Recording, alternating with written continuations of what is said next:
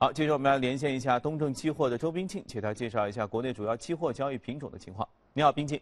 早上好。那昨天指数呢是迎来了一个比较大幅的反弹，午前嗯拉升，并且在午后是继续保持强势。板面上来看的话，像地产基建和航空航天这些板块是涨幅居前的，上证指数也是一举收复了三千点的大关。那么随着二零一五年年度的 GDP 以及工业增加值这些重要数据的公布呢，呃，经济增长下行的靴子落地，并没有一个超预期的情况发生，可以说短期的呃利空有所出尽。在空头动能有所衰减的情况下呢，预计指数短期还是继续会有一个修复性的反弹需求。大宗商品方面的话，昨天各品种也是几乎全全线上涨，反弹幅度居前的是化工品各板块。呃，那以塑料为首，昨天大涨百分之四。那其他的像 PTA、PVC、聚丙烯这些品种也有较大的涨幅。那基本金属以及煤焦钢的涨幅也均在百分之一以上。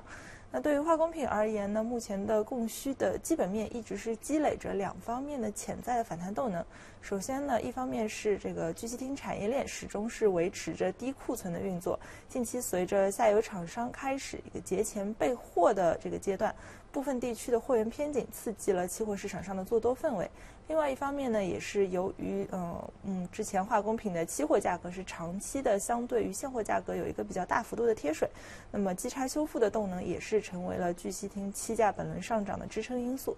那最后关注贵金属方面，嗯，在昨天中国 GDP 数据公布之后呢，金价一度是受到提振冲高来测试阻力位，但是并嗯最终并没有一个形成有效的突破。那美元指数是重返上行的轨道，市场风险情绪回归，打压了黄金的避险买盘的需求。但是我们看到，继呃 COMEX 黄金持仓净多头增长之后呢，本周呃这个 SPDR 黄金 ETF 也是呈现一个持续流入的状态，总持有量呢目前已经嗯是攀升到十二月初以来的最高的水平。那么避险情绪呃避险需求的降温，并没并没有完全消除金价的下方的支撑。那目前美黄金是报在一千零八十八点二美元每盎司。好的，阳光。